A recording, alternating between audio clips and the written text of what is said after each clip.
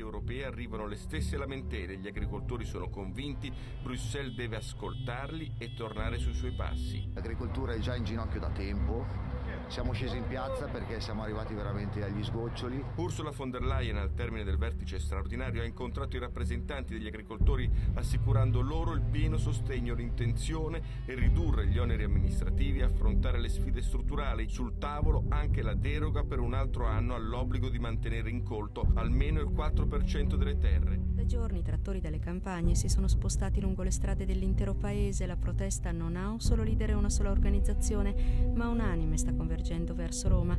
Questa mattina, intorno alle 7, un presidio autonomo fermo da sette giorni all'esterno del casello della Val di Chiana è entrato in autostrada. Altri mezzi agricoli stanno percorrendo la via Cassia. L'arrivo per tutti è previsto verso le 17 nella capitale. Non hanno intenzione di bloccare il traffico gli agricoltori, ma di circondare la città, sostenuti anche dai camionisti per una nuova, lunga mobilitazione a Roma.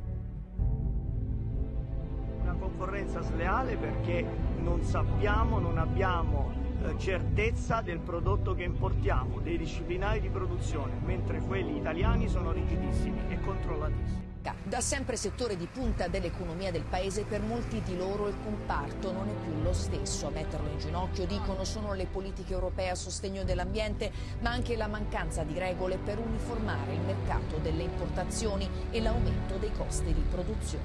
Il paese è bloccato dagli scioperi di autotrasportatori, macchinisti dei treni e dalle proteste degli agricoltori. Code interminabili di trattori e tir costringono all'immobilismo l'economia della locomotiva d'Europa.